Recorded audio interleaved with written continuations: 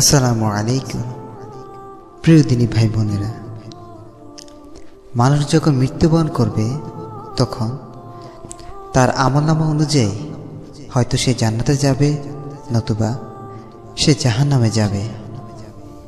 যারা জাহান নামে যাবে, তাদের অবস্থা যে কত করুণ হবে, তা তো আমরা কোরআন হাদিসের মাধ্যমে জানতে পারি। কিন্তু দীর্ঘদিন জাহান নামে অবস্থানের পর জাহান্নামীরা কি কি আর্তনাদ করবে সে সম্পর্কে কোরআনে কয়েকটি আয়াত রয়েছে। মুসলিম হয়ে যারা জাহান্নামে যাবে অথবা কাফেররা জাহান্নামে যাবে, তখন তাদের কিছু অজুহাত থাকবে। তাদের প্রথম আকাঙ্ক্ষা হলো, তারা চাইবে জাহানাম থেকে বের হতে।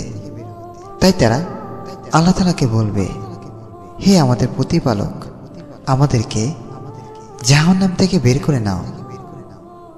যদি আমরা কুফুরি করি, তাহলে আমরা জালেম বলে গণ্য হব। এই আকুতমিনীতি বারবার করতে থাকবে। তারা চেষ্টা করবে শুধরানোর জন্য। তখন আল্লাহ তালা বলবেন, তোমরা এখানেই থাকো, লাঞ্ছিত অবস্থায়, এবং আমার সাথে কোনো কথা বলো না। এই প্রত্যাশা থেকে নিরাশ হওয়ার পর তারা নিশ্চিতভাবে বুঝে যাবে যে তাদেরকে আর বের করানো হবে না।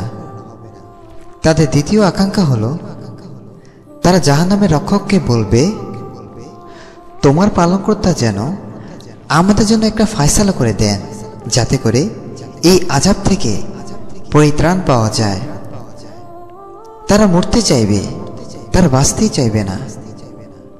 তখন আল্লাহ তালা বলবেন তোমরা এইখানে অবস্থান করবে।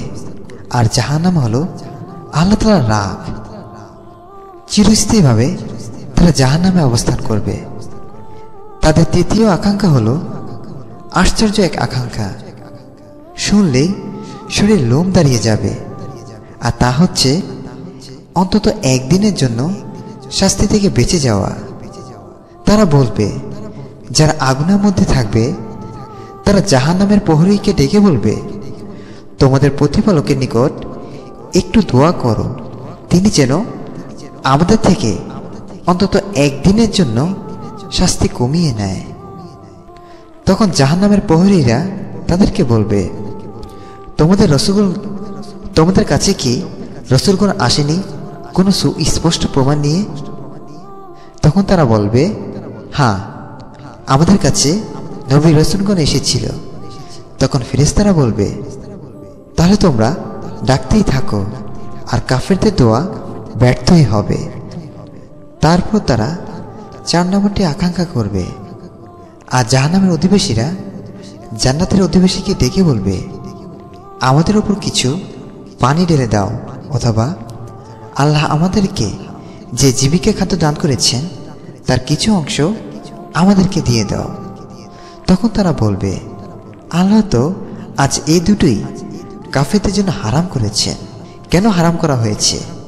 তারা কি করত? তারা তো সেই সকল লোক যারা তাদের দিনকে বিনোদন ও খেলার বস্তু হিসেবে গ্রহণ করেছে। দুনিয়া জীবন তাদের জন্য ছিল ধোকা। তারা তাই মেনে নিয়েছে। এটা হলো কাফেরদের জন্য যারা চিরস্থায়ীভাবে জাহান নামে থাকবে। তবে আমরা যারা মুসলমান আছি, আমাদের পাপ কাজের জন্য আমাদেরকে জাহান নামে যেতে হবে। যখন আল্লাহ তালা দয়া হবে, তখন আমাদেরকে রক্ষা করবেন। মূলত আমাদের পাপগুলোকে, আমাদের দেহ থেকে পবিত্র করার জন্য জাহান্নামে আজাব ভোগ করতে হবে। এটা হলো আহলে সুন্নতল জামায়াতের আকিদা।